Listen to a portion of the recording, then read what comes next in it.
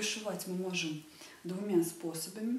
Либо а, заполнением цветков, то есть середок цветков, либо а, в промежутках, в пустых, полностью заполнение бусинами. То есть межзаполнение, оно более а, требует больше затрат на бусины, но а, дает такой более богатый эффект, то есть и некий такой каркас. Сейчас я немного покажу, как я заполняю межзаполнение. Для этого я использую гальванированные бусины разных размеров. Чем больше размеров, тем лучше. Размеры я использую 2 мм, 3 мм, 4 мм, 5, 6 Крупные идут в основном в середку, поэтому их а, должно быть гораздо меньше. А мелких, соответственно, чем мельче бусинка, тем большее количество их понадобится. То есть самая востребованная бусинка это самая мелкая. Да, ее долго вышивать, так как она мелкая, это практически как бисер. Но а, тонкость работы будет как раз зависеть от тонкости вашей работы. Первую бусину мы цепляем с краю. Самую маленькую, это двухмиллиметровая.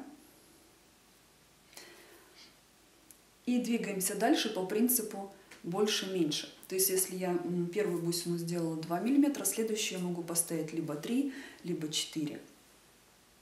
То есть либо следующий размер, либо через размер. Минимум должно быть размеров хотя бы 3. Тогда будет заполнение, смотреться более объемным и интересным. Двойной ниткой я прохожу в отверстие два раза. То есть сначала закрепляю, потом прохожу еще раз. То есть следующее у меня уже идет 4 миллиметра.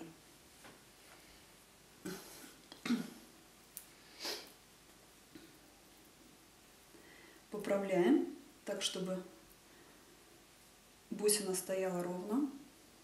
И проходим еще раз закрепляющий. Между этими бусинами вставляем еще один размер, уже 5 либо 6 миллиметров. То есть идем пока на увеличение. То есть э, идем до самого большого, вот в этой как бы полянке некой, и потом идем опять на уменьшение.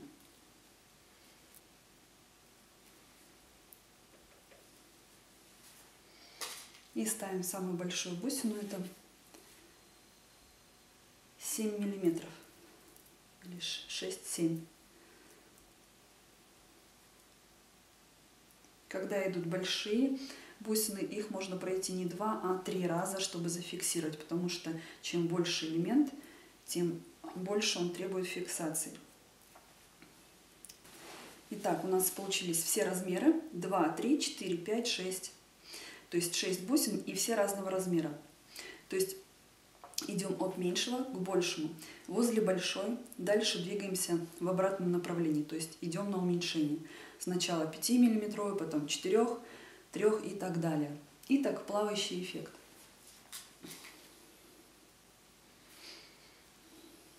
И все время придерживаемся границ кружева, то есть не выходим за рамки.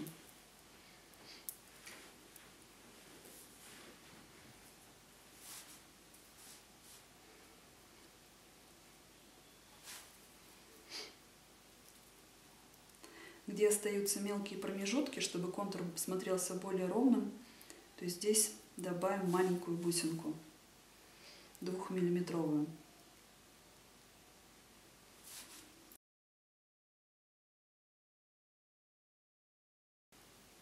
Когда мы идем методом межзаполнения, то есть заполнения пустоты, мы не трогаем, наоборот, тогда цветы.